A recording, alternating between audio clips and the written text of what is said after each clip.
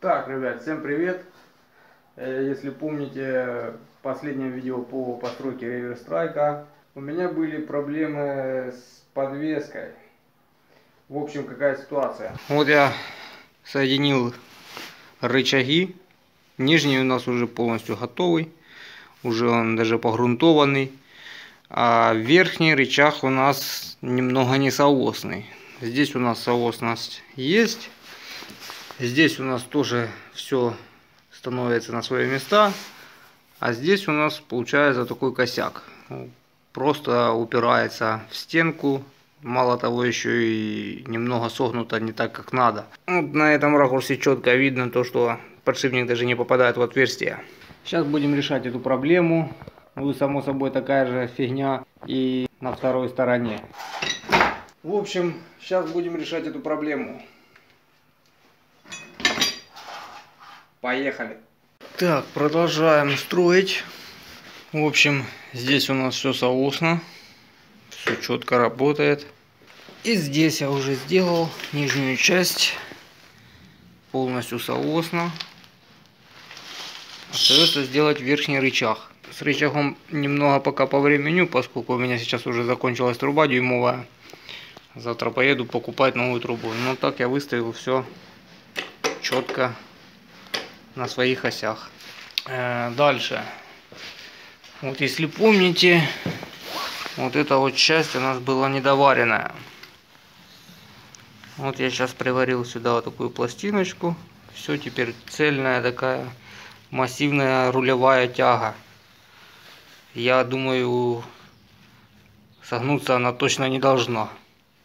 Мало того, еще здесь надо будет укрепить стеночку, для того, чтобы еще держалась ступица.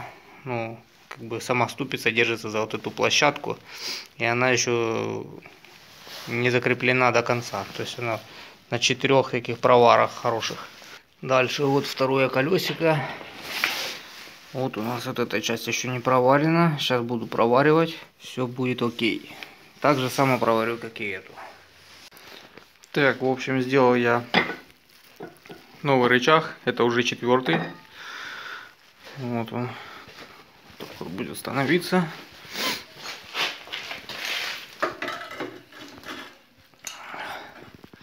Еще до конца не уверен. Возможно, даже некоторые части придется переваривать.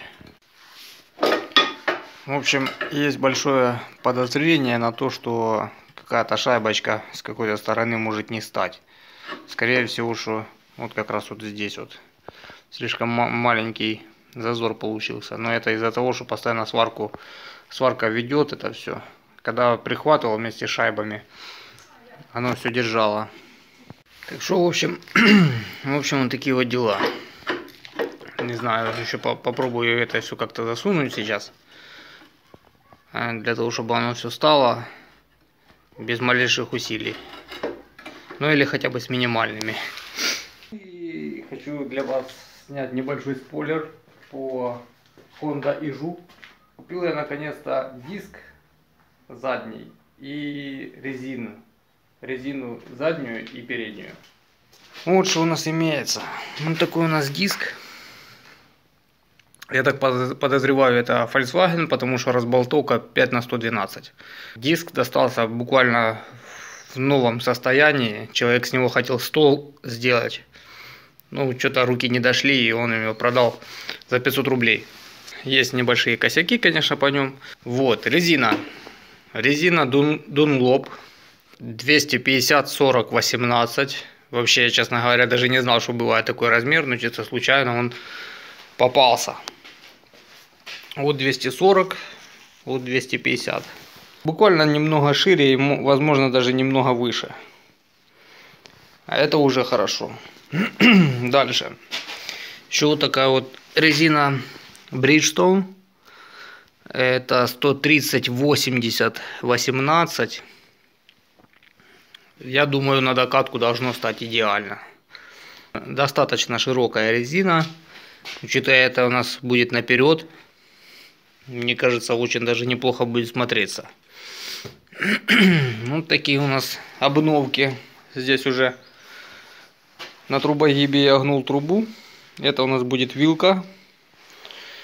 Не очень, конечно, получается, но возможно еще как-то подправим. Это все мелочи.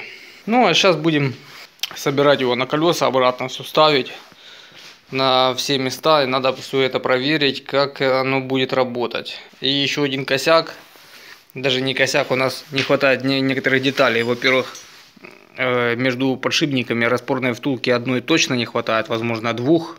Вот здесь может еще тоже не хватает. Это раз. А во-вторых, э, нету еще гаечки. Но это тоже надо будет поискать где-то на рынке. Там гаечки очень большие, кстати, становятся. Вот такие гайки. У меня их три штуки все разные. Ну, по резьбе они все подходят, конечно. Вот такие дела. В общем, сейчас соберу одну гайку. Не буду ставить. Поставлю на колеса, что получится. Наконец-то я его поставил уже на эти колеса. Вроде что тут подумать. Четыре рычага прикрутить. А на самом деле, пока каждый болтик вот это прикрутишь, очень много времени тратится на это все. За счет того, что оси везде все одинаковые, он теперь легенький стал, ну как, в подвижности. Притом еще в наклонах тоже. Буквально вот одной рукой я его телепаю. Вот. Но все равно он держится, получается, на своих колесах. Ну, ровно становится. Я, честно говоря, думал, э, при такой э, подвеске он будет постоянно заваливаться, как мотоцикл обычный. Ну, то есть, э, постоянно он будет где-то искать. Ну, возможно, это еще играет роль ширина колес. Дальше. Такой вот нюанс. Из-за того, что у нас вот такие вот рычаги, сейчас буду отпиливать вот эту вот часть вот эту часть, на той стороне тоже буду все вот это подрезать. Вот здесь вот уже от, отпилил. Это для того, сделано для, для того, чтобы он наклонялся больше. Поскольку вот этими вот частями рычагов он просто упирался вот эти усиливающие уголки. Вот даже здесь посмотреть, он уже начинает упираться. Вот сварочный шов и он у него упирается. Вот такие дела. Сейчас будем это все подрезать, убирать. Дальше еще есть такие вот нюансы. Вот здесь я тоже вырезал вот такую вот стенку. И здесь. Поскольку это рычаг поворота. Вот туда упирается. Сейчас покажу. Вот для того, чтобы был максимальный выворот, надо делать вот максимально его, вообще в идеале его вообще убрать. Но на самом деле тут такой выворот. Он буквально на месте будет разворачиваться. Ну, на видео, может быть, это не сильно так заметно, но я вам скажу, выворот здесь каждого колеса больше, чем на обычном мотоцикле. Плюс еще, допустим, наклон. Сейчас-то, конечно, наклон никакой, по сути. Ну, какой-то-то, конечно, есть наклон. За счет прореза сейчас мы здесь сделаем еще больше наклон. Вот такие дела, короче. Сейчас буду вырезать. В общем, короче, поставил я его на колеса, покатался так немного по двору. Значит, какие впечатления. Хороший выворот, реально, очень хорошо помогает. Реально, чтобы развернуться полностью на месте, ну, 2-3 маневра, реально, больше не надо. В общем, я сейчас покатаюсь по двору, вы это все сами увидите. Вот такой у меня моднявый руль, поскольку другого не было.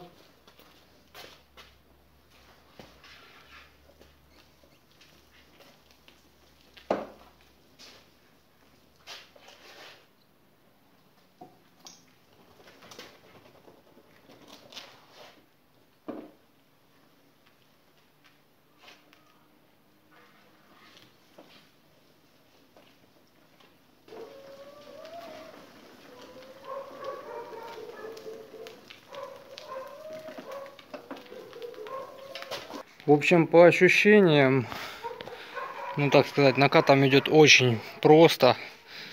Это, это специально для тех хейтеров, которые говорят, что Иж не потянет типа такого мотоцикла или что-то в этом роде. Я вам скажу, если я э, накатом шел просто ногами, без усилий, э, здесь и обычный мотор ижевский потянет без проблем и сутку поедет без всяких э, напрягов. Единственное, что я могу сказать точно, э, к управляемости этого мотоцикла надо привыкнуть. Поскольку он не ведет себя так, как обычный мотоцикл. Э, там в наклоне, он там уходит в поворот. Здесь в наклон, когда уходишь, он еле-еле поворачивает. Вообще, вот чуть-чуть. Но стоит немного рулем чуть-чуть подать, и он сразу уходит без, без проблем. Но вот это реально чувствуется. По раме я еще не все поподрезал, не все части, не везде еще позачищал. Вот это вот все надо сделать.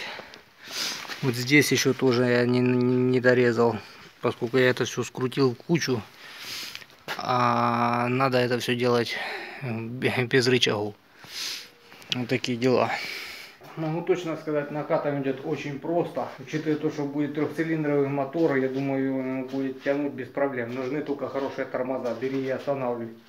Попробую еще остановить такую дуру. Из-за того, что оно такое тяжелое все получилось, проблема будет в торможении, конечно. В общем, следующим этапом, я думаю, уже пора устанавливать мотор на раму. Э, мотор уже лежит полгода, вот, и получается за, за эти полгода уже нету одного карбюратора, если заметили, поскольку я его дал покататься одному человеку на еже. Ну и само собой я ему, ему там немного задолжал за его труды. Это, так сказать, мой сварщик, тот, который мне бензобак варил. Вот я ему и подсуетил карбюратор. Дальше, что у нас тут еще? Вот крышку я нашел. Та, что реально мне подойдет, поскольку она с такой вот фигней, с выходом вот таким вот. Я, кстати, заметил, что крышки вот эти и юпитеровские, они обычно все такие э, выдутые больше. Да хотя и на, на планете, наверное, такие же самые. Единственное, что крышка, вот эта вот крышка, это что хромированная, они бывают двух размеров. Есть широкая, а есть узкая. Вот мне как раз вот надо вот так максимально широко это все выдвинуть, для того, чтобы закрыть датчики. С крышкой мне уже, так сказать, повезло. И самая главная проблема остается, как же вывести эту звезду на эту сторону для того, чтобы оно тянуло цепь. Вот этим вопросом надо еще задаться. Я еще решаю этот вопрос, еще неизвестно, как это все будет делаться.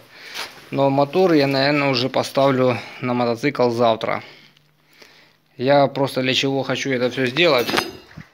Эм, мотор сам не легкий, где-то 50 с чем-то килограмм, наверное. Но для сравнения, э, я когда брал вот этот мотор, трехцилиндровый и хондовский. Мне даже показалось хондовский намного легче. Вот. Хотя он по высоте больше. Там цилиндры большие, само собой. Ну, в общем говоря, надо поставить мотор, посмотреть, как будет вести себя подвеска вместе с мотором. Так, ребята, новый день. Я отсоединил заднюю подвеску, поскольку она до конца не готова. Решил поставить тормозной суппорт Сделал я такую площадочку. Ее надо как-то приварить вот этой вот части внутренней. Для того, чтобы она держала сам суппорт. Так, ну в общем самое сложное я уже сделал. Приварил вот такую вот пластину. Полностью ровно. Все идеально. А, сейчас ее надо усилить. Для того, чтобы когда тормоза нажимал, вместе с суппортом оно никуда не отлетело. Вот такие дела так вот проварил. Фу, в общем, полдня уже варю. Уже глаза, наверное, красные. Короче, вот что я наварил. Э, насчет внешнего вида я особо не старался. Поскольку это нижняя часть подвески.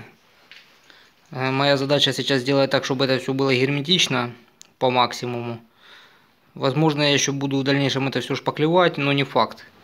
В общем, у меня здесь были основные три прута. Вот, один прут, второй прут и третий прут. Я просто между ними приварил пластины 5 э, миллиметров толщиной. Конечно, добавилось немного веса, но ничего страшного. Э, из прутов варить такую консольную подвеску это намного проблематичнее, чем чем, допустим, с трубы. Сейчас покажу. Вот я делал подвеску, тоже консольная, по такому же самому принципу. Вот крепление под э, суппорт тормозной. Э, делалось это все с дюймовой трубы. Э, ну, в некотором роде делать с дюймовой намного проще, но есть свои нюансы. Допустим, э, найти трубогиб, чтобы сделать вот такой вот ну, изгиб, это очень проблематично. Э, не каждый за это возьмется. По крайней мере, мне сделали вот два куска трубы, верхний и нижний, на одном трубогибе, вот буквально вот до сюда. Дальше была просто ровная труба. Здесь уже вырезал сегментами и сгинал так, как мне надо. Возможно, даже он будет и легче. Хотя тоже такой массивный. Так, приварил я такой вот козырек дополнительный, так сказать, упор. Проварил с э, двух сторон. Я вам скажу, это больше, чем достаточно для того, чтобы оно никуда не делся суппорт. Сейчас соберу кучу, покажу, как это все выглядит. Так, колесико в сборе.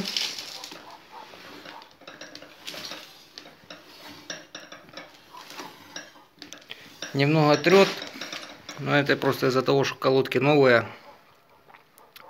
Ну и мало того, э, суппорт бэушный я брал. Он как бы рабочий, но в любом случае я сюда буду ставить новый. Э, поскольку там уже резиночки все давным-давно потресканные все. Направляющие тоже там, по-моему, изношенные. Э, в общем, в любом случае надо брать новый э, суппорт. Это суппорт, кстати, со скутера, с какого-то, не знаю, с китайца. Э, ну, в принципе, его хватает, чтобы остановить такое колесо с таким вот диском. Э, кстати, диск я тоже поменял. У меня их было три штуки. Я их брал с запасом по 150 гривен. Диск поставил другой из-за того, что старый диск какой-то он, мало того, что он изношенный сильно, э, так он еще и крыловатый. В общем, колесико крутится. Его еще кто-то красил, этот суппорт. Чей диск тормозной кто-то красил, ну не знаю. Ну, возможно, даже это к лучшему, поскольку я смотрю, краска стирается.